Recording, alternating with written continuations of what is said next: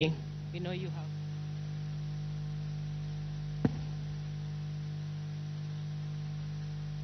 Excellency Dr.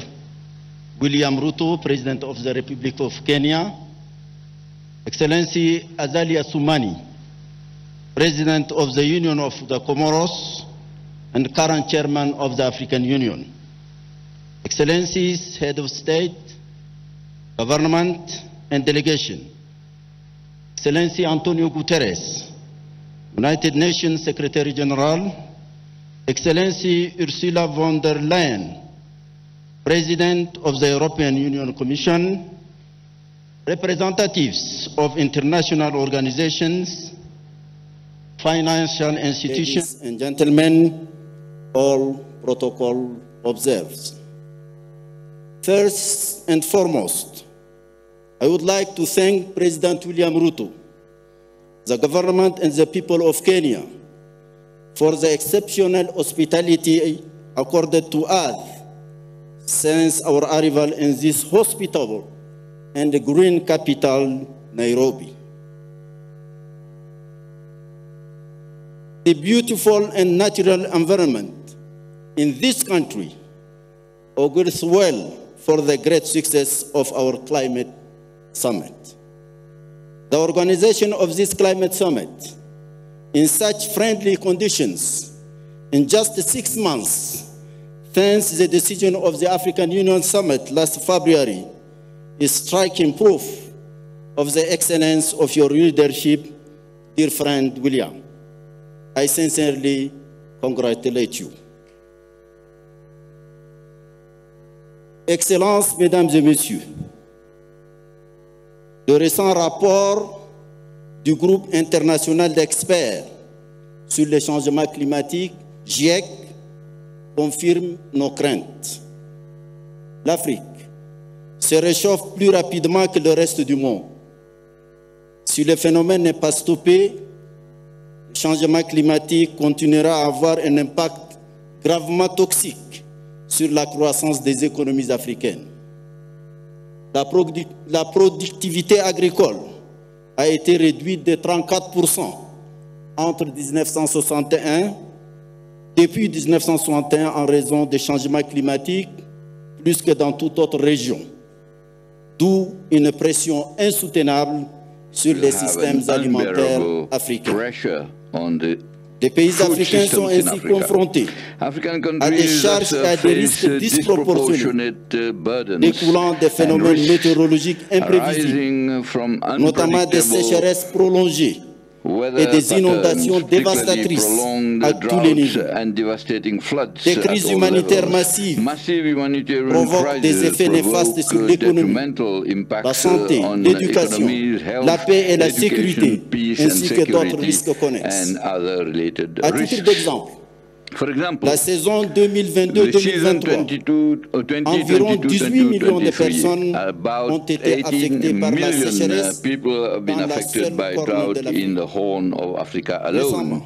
Recently, tropical cyclone Fred has affected more than uh, 1.2 million of people and caused the death of more than 700 people.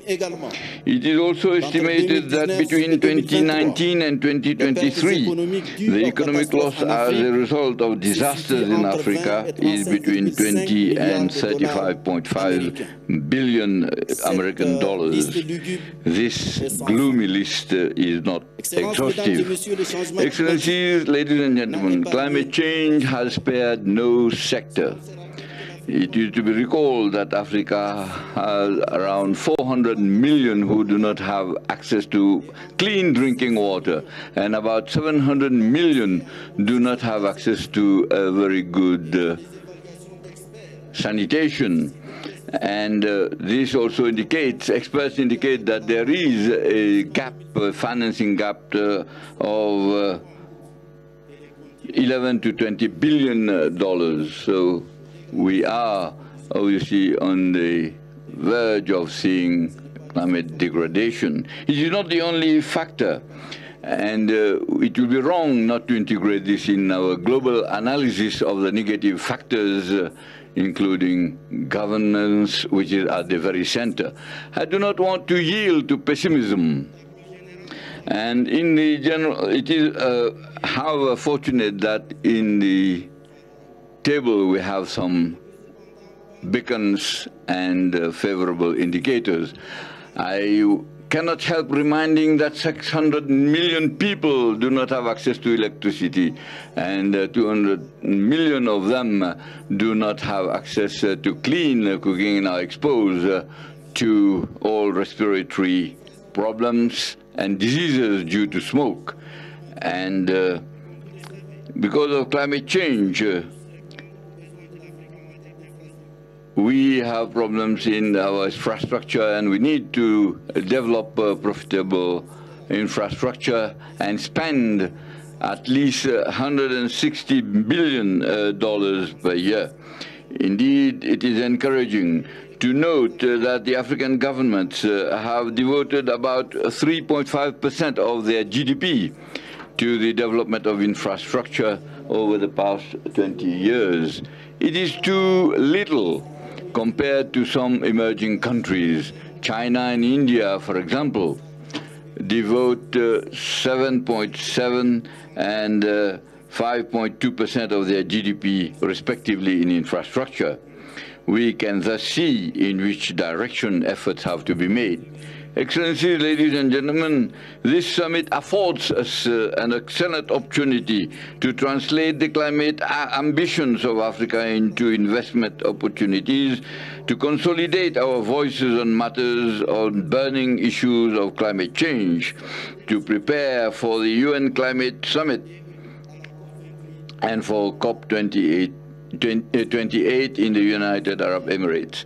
At these meetings of global importance, Africa must, among other challenges, highlight uh, the worrying and sometimes tragic uh, situation in the Sahel, in the Horn of Africa, where droughts and uh, floods alternate. Uh, in the Congo River Basin, with dangerous uh, deforestation and the disastrous consequences of cyclones in southern Africa and in the island states.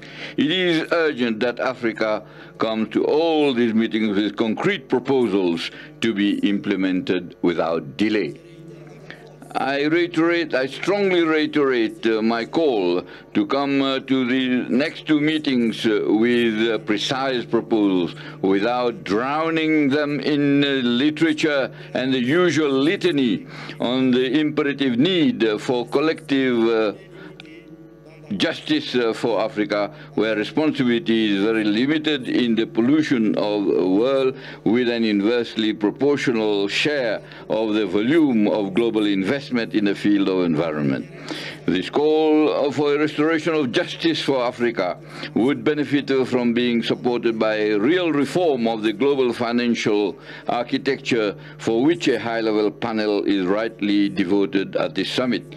Obviously, this reform must resolutely focus on the financial organs and uh, structures, institutions which uh, structure the universe, which operate far from Africa. In this uh, desired reform, a question comes to mind, the weight of uh, the debt and the financing gap of the SDGs, Africa alone represented a need of uh, 1.3 billion uh, dollars per year for sustainable development needs by 2030, while uh, the financing needs for SDGs in the same period were 2.5 billion dollars for financing developing countries.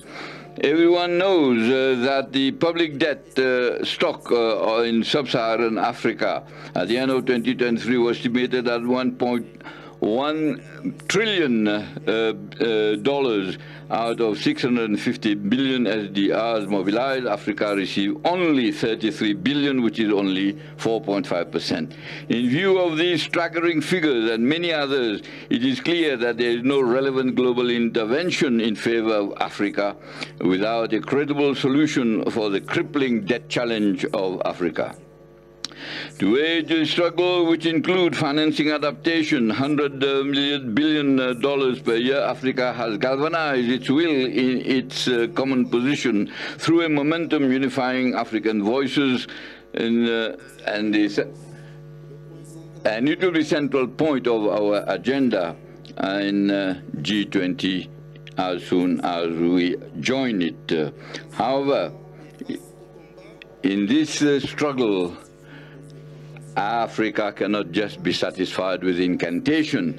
Just like for its independence, it uh, is a challenge to rely on its own uh, personal efforts, uh, on its own genius, the quality and its virtues of bold, imaginative, united and interdependent leadership. I wish you full success to our deliberations. I thank you very much. Asante sana.